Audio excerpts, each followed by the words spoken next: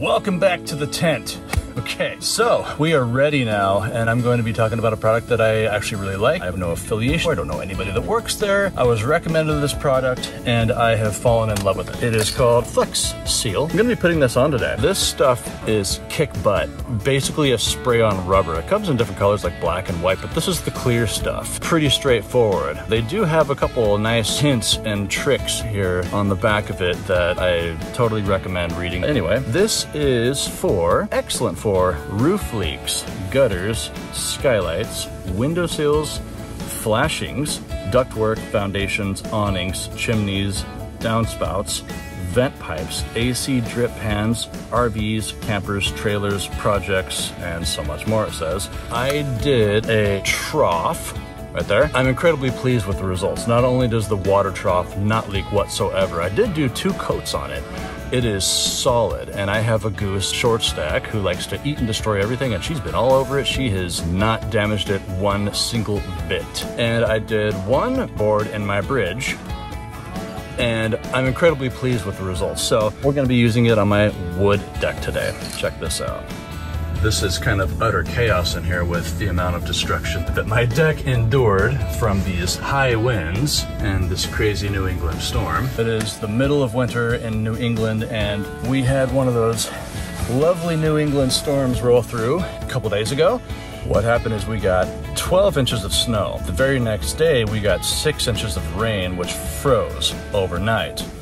So all of that stuff melted away two days later and destroyed my tent that was originally designed just to put some heaters up so I could seal this deck. Now it's sealed once, I wanted to seal it twice. Anyways, that was a long story short. Now the seal that I was using was just your standard that you buy at any home place. I was happy with that. Instead of doing the second seal, I'm going to do flex seal. When you're using stuff like this, I'm gonna be wearing my PPEs, that is your personal protective equipment. Optimally, you'd have one of those KN95s from NIOSH, the National Institute for Occupational Safety and Health, registered by them so that it is actually a lot more safe and effective. This will do the trick, and I just don't want my hands to become rubberized, so I'm gonna use a pair of gloves when I do this. One thing you definitely want to make sure of that you do is completely clean and dry the area that you're about to do. I had a lot of ice to deal with and a lot of junk to deal with on the stack so I sprayed it back and forth the entire way four times. Then I got some warm water and cleaned. I sprayed it again and I painstakingly melted all the ice and then I came back and blew it again twice more. So it is very clean right now and I am in a fresh set of socks that I did not walk up here in. This place is as clean as it's ever going to get and we are outside in the forest and it's about 16 degrees right now. Another thing about this Flex Seal, I think it is most important to keep this stuff at a good temperature before you use it and not to let it get too cold. So that in mind, we're gonna go ahead and get started because we're gonna get more snow tonight. All right, let's go. Oh, I love how these fog up my glasses, but the good thing is I don't really need them. Oh, it's nice, kind of makes your face warm though, you know? Anything helps. We're just gonna go ahead and shake this up nice and thoroughly. It says here to spray it eight to 12 inches away. All right, let's go.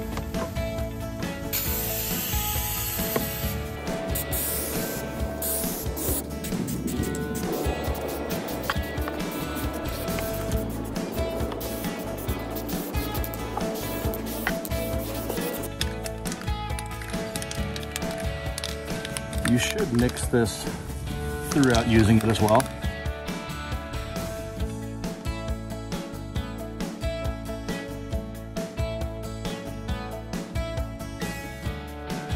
I'm getting a little better at this. Okay, so here's something interesting. I was just inverting it and it started spitting out a bunch of thick drops. So I'm definitely going to get a brush and I'll be back. Now it also says that if you start to see some of this where it looks kind of liquidy and uneven, you can use a brush. I'm gonna do that because I am absolutely terrible at spray paint. I always have been. And you know, I'm not very good at this either. it is what it is. So last time when I did this, I used just one of these cheap foam brushes. This foam brush worked excellent last time I did it. It's, it was perfect. I'm gonna give this a go, hoping that it's better, and we will always learn something new. So let's try it. If you've done this before, let me know if this is the right way to do it, or if you have any tips or suggestions on a better way to do this. Go ahead and nice and gently push everything outward. And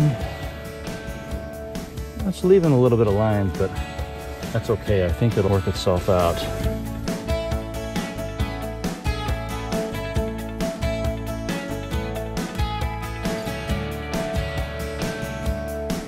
I got this much done. The first two steps. That was the whole can, plus the kicks. So I have four cans. I should be good to go with the rest of this deck.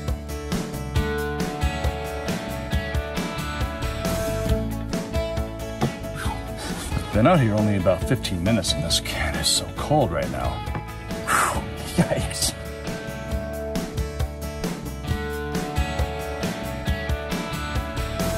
And sort of just getting it on there ugly and then smoothing it out.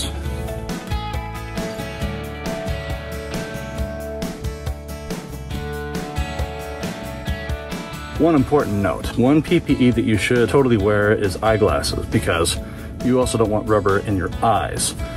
Now, I was shaking like this because I kind of got lazy and I just wanted to shake it instead of my normal uh, drop came up and landed just under my eye here. Had that gone into my eye, I would have needed to seek out medical attention. This is rubber. You really don't want this in your eye. So I'm going to just suck it up now and wear my glasses because I'd rather have foggy glasses than a rubber eye.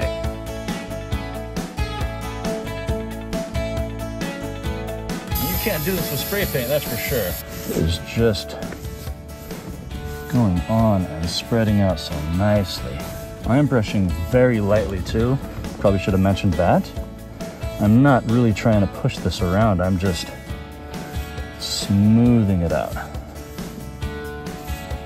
Very lightly. So we're just about done. We only have a small area right here. So I'm going to transfer to the outside now. All right, we are all done. I'm just gonna do a quick experiment here. I've got two boards here. One that says snow and one with a T on it for tent. So we're gonna use Flex Seal on both of these. And I'm gonna leave one out in the snow tonight and I'm going to put one inside of our tent where everything else is currently being flex sealed. We're gonna put our T for tent right here. That's where he's gonna spend the night. I'm gonna leave that guy right where he's at. Okay, we're done. For the record, it took four cans to do that. Fairly large area of the deck. Anyway, we're gonna come back tomorrow. I'm gonna see how things are dried, see how things turned out. I'm gonna give my pros and cons and the recommendations and things that I could have done better and things that I would recommend anybody else use this product do a little bit differently than I did. We'll save that for tomorrow. In the meantime, see ya. All right, it was about four o'clock last night when we completed our Flex Seal seal. So we're gonna check it out. All right, we are definitely covered in snow.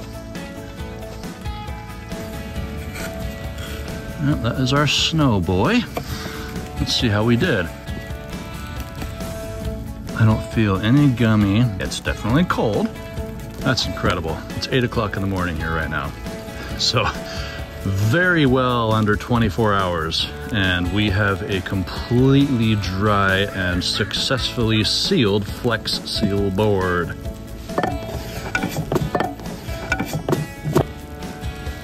Let's check our inside.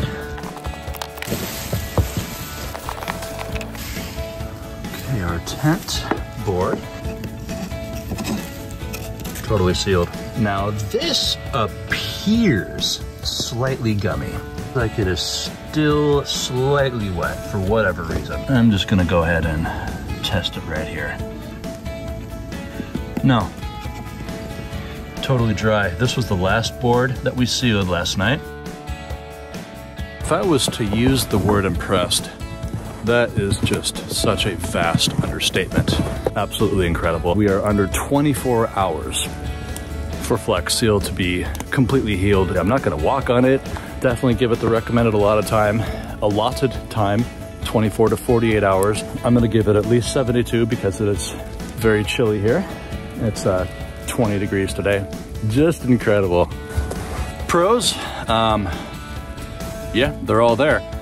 I have yet to really test the durability of it. You know, I could, uh, I suppose, take a hammer to one of those boards that we sealed and bang it up and and and see how it does. I really don't feel like that's going to be a very effective test. Cons, okay, so um, I used the spray cans. They do have a bucket of brush on. You think that you could buy more and save, but no, you can't. It's uh, it's about fifteen dollars for a can, and you can buy six cans literally for fifteen dollars each um, in bulk. And you can buy one of those buckets. Uh, you're not going to save any money anyway, no matter how you buy it.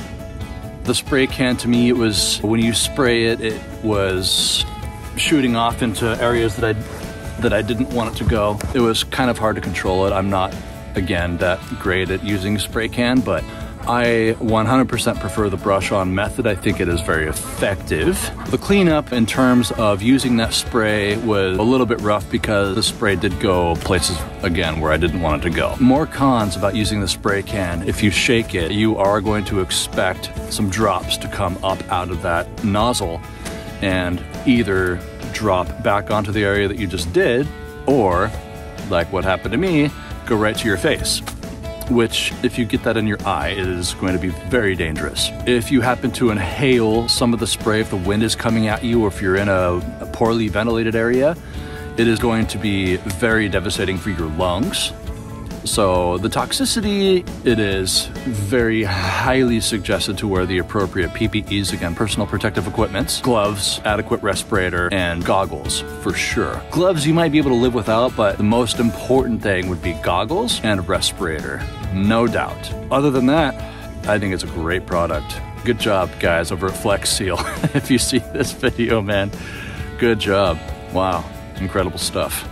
Well, I have some interesting, potentially devastating, yet I think very important updates. The last video that I made was from Monday. It is now today, Friday. So I ordered the one gallon bucket. I plan on doing the second coat today. First update I want to make is actually a change uh, from a mistake I made earlier in regards to pricing. There are different pricings online. The one that I was looking at were the local home goods places in my area. I didn't find the gallon one, so I started looking for the gallon and I ended up on Amazon where I found some different prices. So the spray cans that I used the other day, those were from the local home goods place that did not offer any sort of bulk discount, even if you bought them in a bulk box in a package.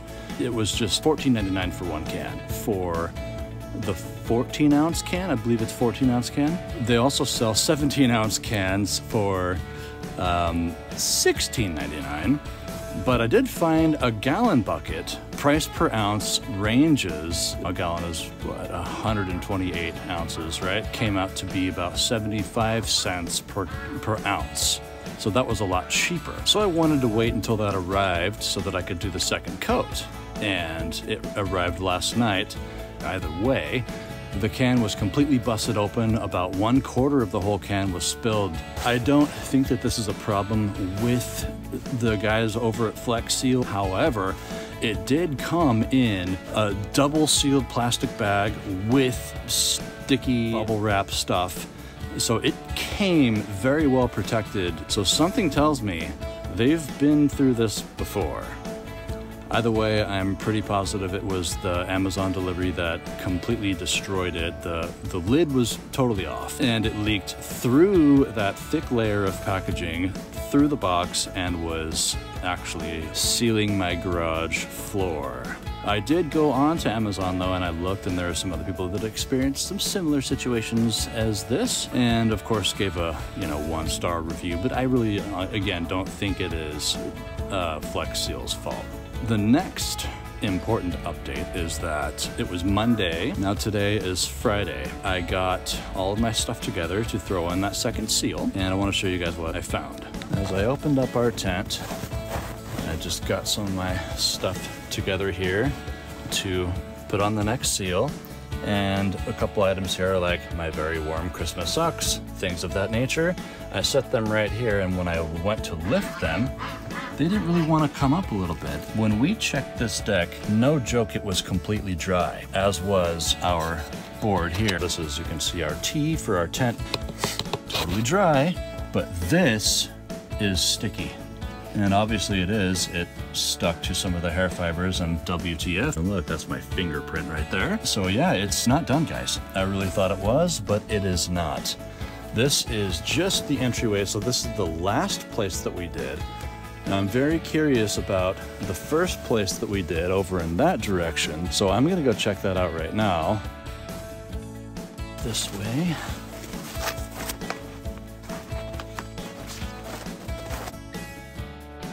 Okay, we can sort of, we can get in here a little bit, and it definitely does still feel a bit sticky.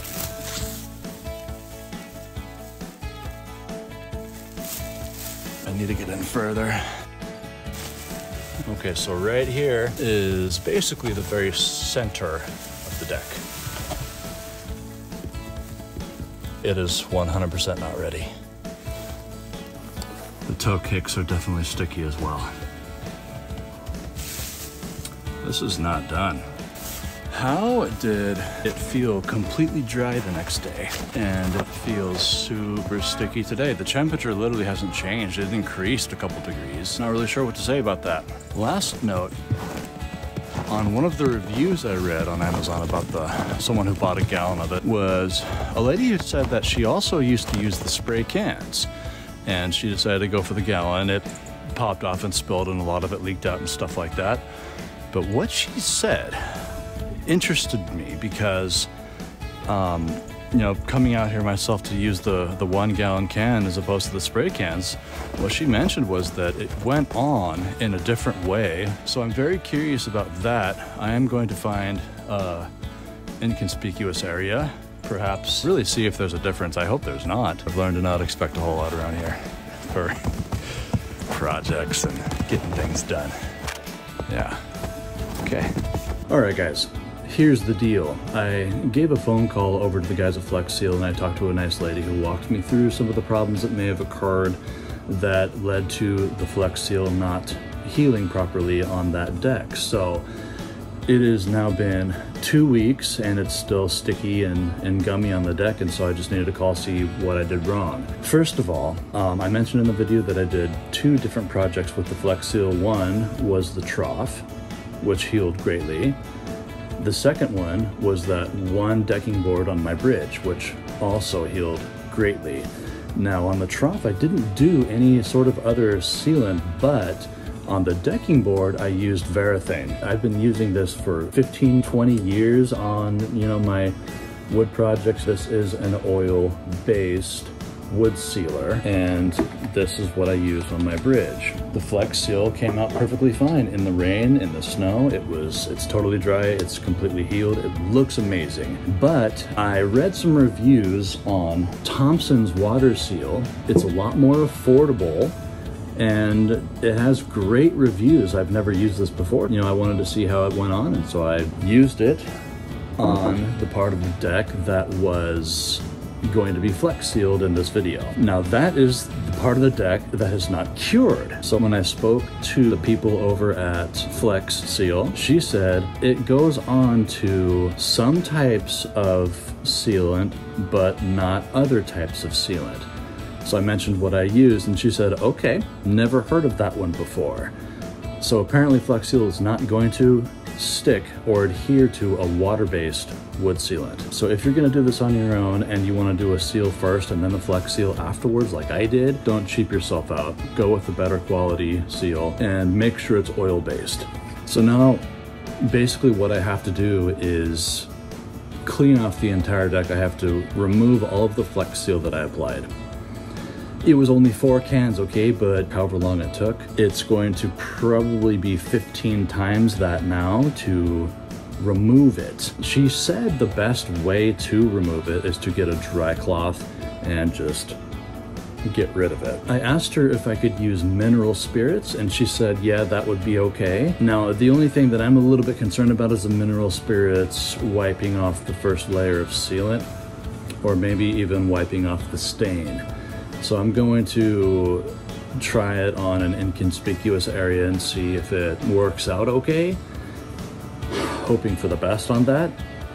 But this has been a very big learning process and has really set me back weeks unfortunately, just waiting for this to dry, knowing that it's not going to dry. So when I redo this whole thing, I will make another video on what happens with the mineral spirits and removing the flex seal and hopefully not removing anything else. But no doubt about it, what I am going to do either way is use the mineral spirits, remove the flex seal, maybe I remove some of the Thompson seal that's on it, whether or not I do, I honestly don't care. I'm, I'm gonna find out once it's done if it's still on there or not.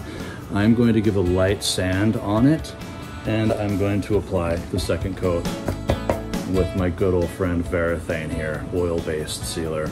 Now, when that is completely cured, probably two weeks, I'm going to reapply the Flex Seal because I know it's going to work. The other thing is she did mention the ventilation has to be very good. Now, my ventilation wasn't very poor. My tent kind of got destroyed. There was a lot of holes, uh, you know, so I did get a little bit of a breeze in there, which I was initially concerned about because of the temperature, but apparently that's not a thing to worry about. The biggest thing is the ventilation, so I'm going to open up ventilation. I'm going to redo that entire tent canopy covering anyways, so that's going to be probably the first thing that I do and uh, we're gonna go from there. So this is my really unfortunate struggle with this deck journey. You know, really hope you guys learn from this and don't make the same mistakes that I did. I hope this helps. All right. Cheers. Hey, thanks for watching this video if you actually did stick around for the whole thing. And uh, let me know what you think about it. Let me know if you have different techniques that would be better than mine when I was using the Flex Seal or spray cans in general, you know? Let me know your thought, and uh, if you like it, I'm glad you did. See you guys later.